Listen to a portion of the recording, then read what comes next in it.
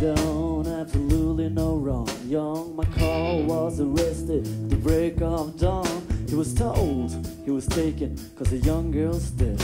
He was forced to admit, but he never confessed. He was lying on a bed in his prison cell. And weeks turned to months of living hell. He hadn't done any wrong, so it wasn't fair. But he was already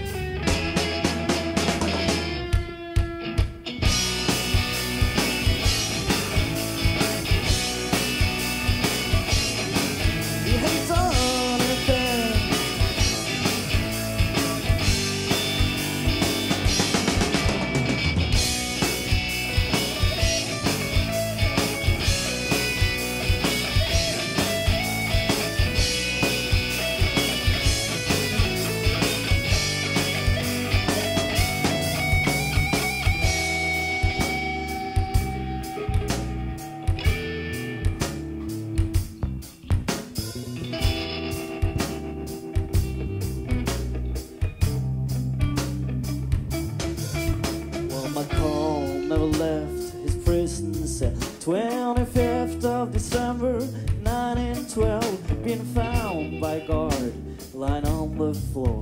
Young McCall took his life, he couldn't take it no more. Three years later, he was proven right. But McCall's death was never justified.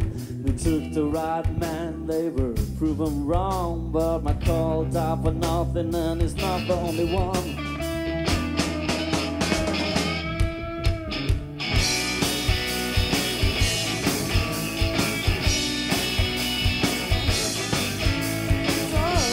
Done